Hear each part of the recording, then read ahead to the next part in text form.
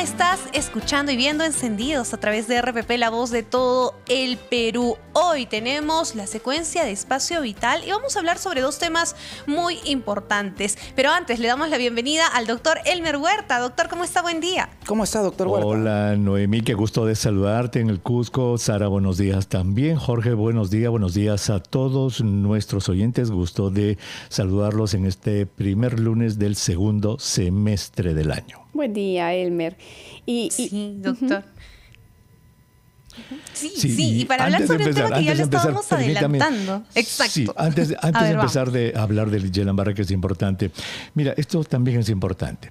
El COVID todavía está en el, en el mundo. ¿Verdad? Lo sabemos, COVID todavía está. Hace unas horas el hijo de Mario Vargas Llosa anunció que Mario Vargas Llosa, que tiene 87 años, ha sido hospitalizado por COVID-19 en Madrid.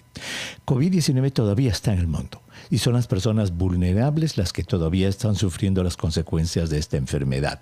Esta es la segunda vez que hospitalizan a Mario Vargas Llosa por COVID. La primera fue en abril del año pasado, en víspera de su premiación del Premio Cervantes, no pudo asistir. Esta es la segunda vez que le da y la segunda vez que se hospitaliza. Entonces aquí el mensaje es que los adultos mayores deben tener de ahora para adelante un cuidado extraordinario con COVID-19. Esto no es un juego. Esto puede enfermar, puede hospitalizar y puede matar a la gente vulnerable. Así es que la vacunación con la bivalente que está disponible en todo lado es la, norma y obviamente en lugares que están muy concurridos, con mucha gente que yo no conozco, si yo soy un adulto mayor, yo me pongo mi mascarilla y a quién le importa, porque yo me estoy protegiendo. Correcto, doctor Huerta. Y hablando ya sobre el tema que en este momento eh, es el centro de la atención en nuestro país, eh, la enfermedad del Guillain-Barré. ¿Qué es lo que sabemos con relación a la tasa de mortalidad? Hay unas declaraciones a propósito del ministro de Salud,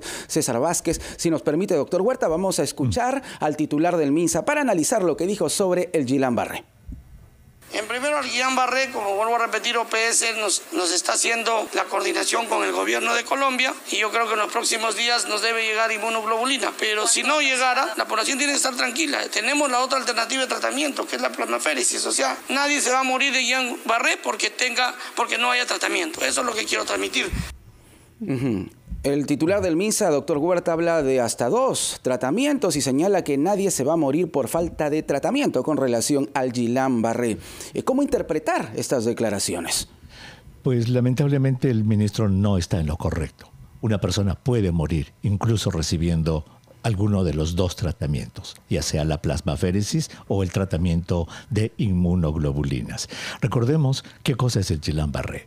El Guillain-Barré Jorge, es una reacción exagerada de tu sistema de defensa. No es que tus defensas están bajas, al revés.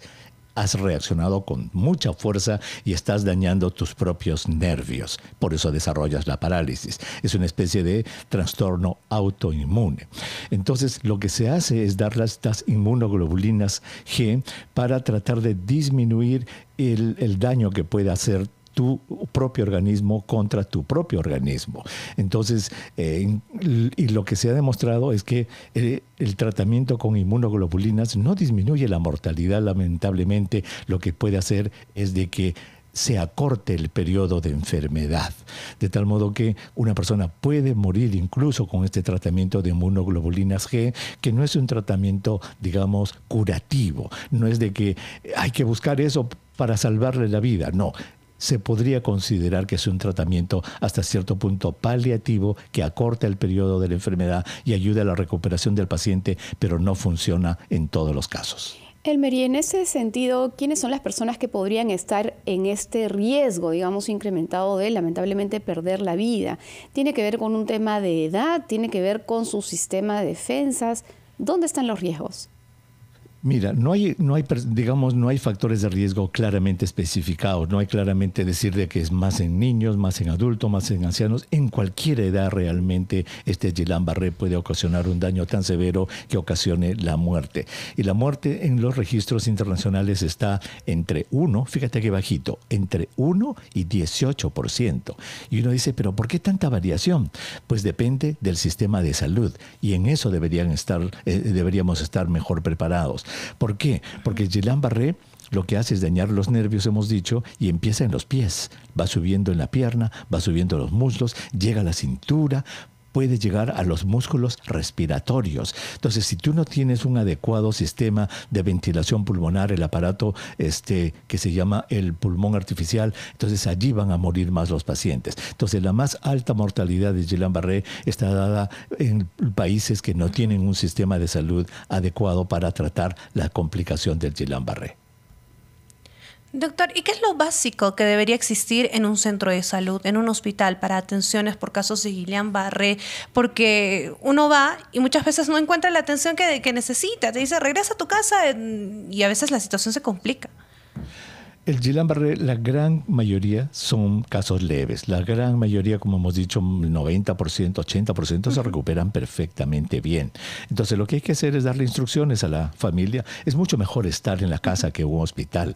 El paciente no se va a agravar de un día para otro. Entonces, lo que deberían hacer los doctores es darle instrucciones precisas, darles una clase de Guillain-Barré a la familia y al paciente. Eh, eh, eh, educarlo, decirle, mire, esto es lo que usted tiene. Así que vaya a la casa, esté atento a esto, a esto y a esto. Si usted presentara esto, esto esto, llámenos, nosotros vamos a ir a acudirlos. El Guillain-Barré no se agrava de una hora a otra, de un día para otro. Es una enfermedad de un curso muy lento y progresivo y una familia con la educación adecuada, con el adiestramiento adecuado, podría tener al paciente en su casa.